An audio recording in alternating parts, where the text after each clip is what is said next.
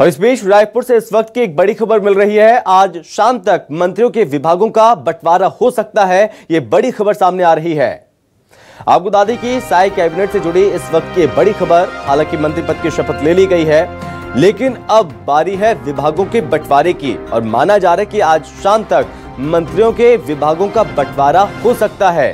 छत्तीसगढ़ में नौ मंत्रियों ने शपथ ली है और सभी को आज विभाग बांट दिए जाएँगे।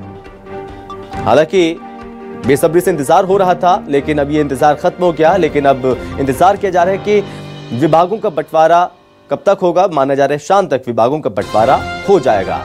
इस पर ज़्यादा जानकारी और बातचीत करने के लिए हमारे साथ रेजिडेंट एडिटर आशीष तिवारी हमारे साथ जुड़ गए हैं। तो आशीष जी, मंत्री पद की शपथ ले ली गई है, अब इंतज़ार है विभागों के बंटवारे का। ये तय माना जा रहा है कि शाम तक विभागों का बंटवारा कर दिया जाएगा मंत्रियों को।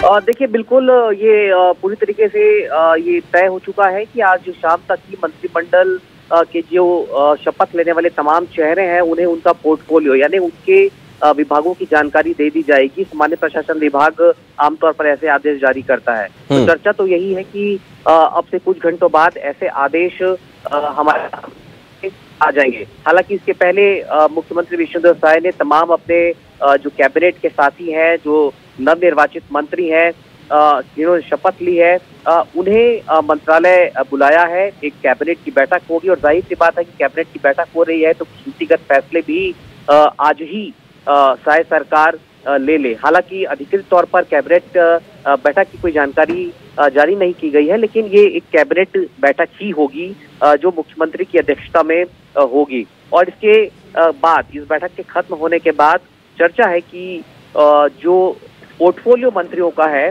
वो वितरित कर दिया जाएगा। जी।